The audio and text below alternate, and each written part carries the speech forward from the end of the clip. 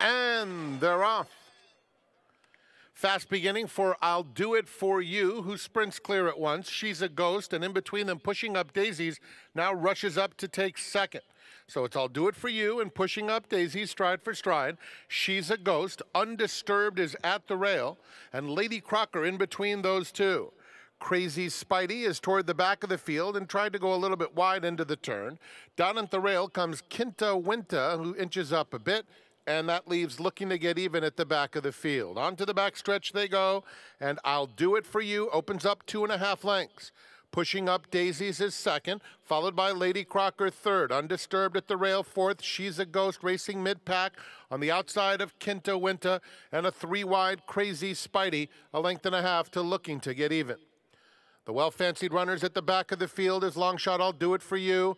Is the speed, leads it by two. Pushing up Daisies is in second, undisturbed at the rail. Lady Crocker is three wide, and outside of her, She's a Ghost is only two and a half lengths off the lead. Quinta Winta in the red is in striking range, trying to move up. There's some heavy traffic in front of her. Crazy Spidey, yellow sleeves will have to go very wide. And at the back, looking to get even. They're at the top of the stretch. I'll do it for you, trying to steal it.